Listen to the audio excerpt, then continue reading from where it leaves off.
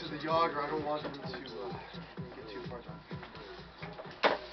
You are not safe, right? You know what? We should do a montage of Steve walking out.